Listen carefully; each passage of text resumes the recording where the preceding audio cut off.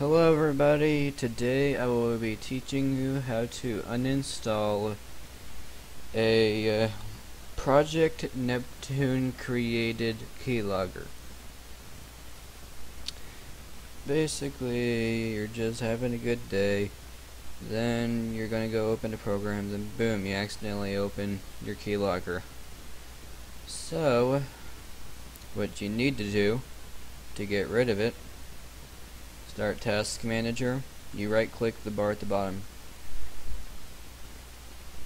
Then you scroll down and whatever you put as this part right here set server's process name that's what you need to look for mine is right here uh, the shift 8 32 does not change the fact that it is that.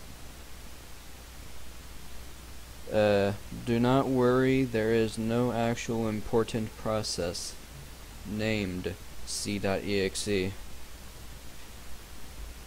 lot of people think that because their hard drive is named that, that they have a process named that. That's not true at all. What you need to do, open file location, and even though you cannot delete it you just simply end a process.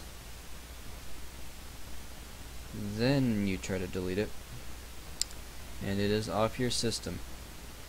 Sadly though if you did not have a backup copy and you had it set to remove the original file then it will not exist on your computer and you'll have to make a new one.